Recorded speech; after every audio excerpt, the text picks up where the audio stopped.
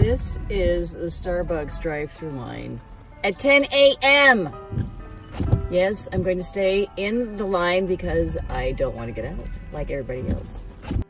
So it's Saturday, and this is the day that actually, I don't like work really hard, but I start to put my outfits together. So here's a possibility for, striped joggers are really big. So here's a possibility for this week. Just simple black and white. It's really cold outside, so I have a cashmere striped sweater on. But, and these, uh, actually these striped joggers are old from Ann Taylor. But I'll give you a bird's eye view. So this is really kind of how I start to set things up. I usually get one key piece. I've really been loving this Anthropologie. um, what do they call it? Wonderland, I think this is this jacket is. It's embroidered jacket, has some beautiful details on it. I've already worn it with a cashmere dress, turtleneck dress.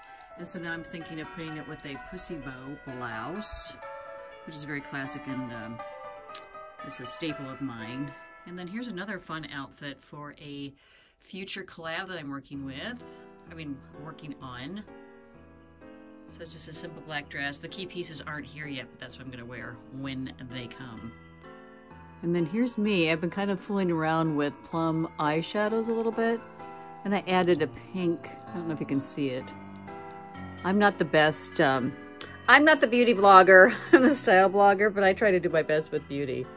And I do try to experiment a little bit. So this is my, this is my latest attempt at some um, winter plum looks. And Mr. Style and I are going to head off to Target in a little bit. I'm going to brave it on a Saturday. Call me crazy. Uh, but we need a couple of things. And, and, we, we're headed up to Atlanta on Monday. Kind of have a busy week. So it's like, uh, just get my errands out of the way. And I uh, might have a sneak peek of my youngest child. Sometimes he tags along with us. I have one that lives here in Athens with us. I'm super lucky about that. But, um, but anyway, Target later today. And that's my all-time favorite store. It has been since the 80s when we lived in Minnesota. And that's actually, for those of you who are not familiar with Target, that's that's where they originated. It was uh, in the Twin Cities. And Dayton Hudson actually owned them. And when we lived there, I had a Dayton Hudson card for my, you know, uh, the retail card, and I could use that at Target. Then we moved to Texas. I tried to use it one time, and they were like, um, "What are you doing, lady? We don't, we don't do this." So it was, it was kind of cute. Uh, but now Target's in so many places. But I have, I have a lot of uh, um, viewers from different countries. So for those of you who are not familiar with Target, it's, it's just a, it's a big a store that sells clothes and groceries and electronics and you know pet food. I mean you name it target really really carries it. And and as far as clothes it's a it's a very very affordable budget friendly uh, clothing items is, is what they offer. And they always have cute stuff. Well this is where we ended up eating on a very cold wintry day. DePalma's. Pasta. Yes i had a glass of cabernet Mr. Style joined me. And he just loves being on camera. And then uh, this is just a, it's a very popular restaurant here in Athens. Great pizza, pasta, very old school, but perfect for a cold winter day, don't you think? Okay, we're doing some Christmas shopping, as you can see at Target. I'm gonna pan around